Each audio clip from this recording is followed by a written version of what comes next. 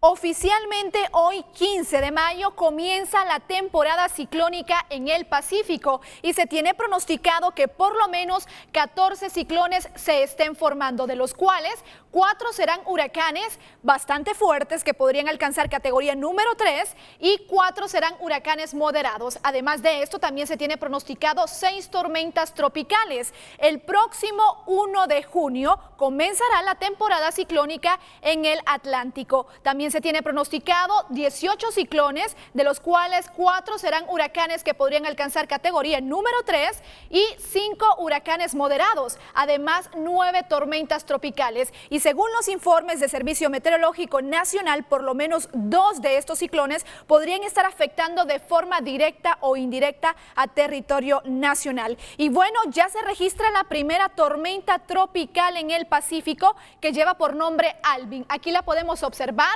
esta es la tormenta tropical que se está dirigiendo hacia el oeste, así que se estará alejando de territorio nacional y no nos estará afectando. Su desplazamiento es bastante rápido y se tiene pronosticado que probablemente para los próximos días se convierta en un huracán, pero seguiremos muy de cerca este primer fenómeno ciclónico que se ha formado en el Pacífico. Pero ¿cuáles son las condiciones del tiempo que nos esperan para hoy? Las temperaturas cálidas siempre continúan. La temperatura más alta pronosticada para hoy se será en el sur del país, que será de 28 grados centígrados. Y la temperatura más baja pronosticada para esta noche es de 11 grados centígrados que podría estar descendiendo en La Esperanza. No se pronostican condiciones de lluvia de igual forma para el país, donde estarán presentes los tiempos de nubes a despejados con máxima temperatura aquí en Tegucigalpa de los 30 y una mínima de los 17 grados centígrados. En el sur del país estarán predominando las condiciones secas, máxima temperatura de los 30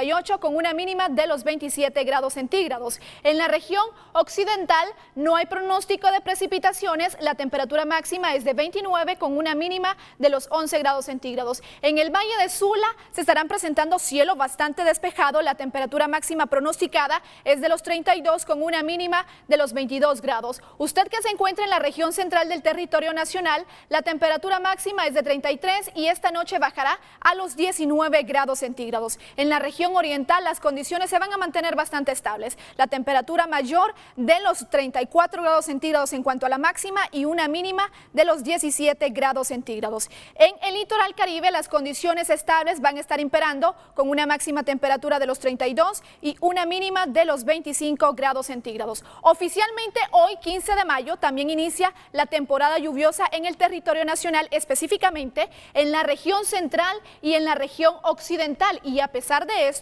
no se pronostican condiciones de lluvia para esta noche. Así se mantienen las condiciones del tiempo.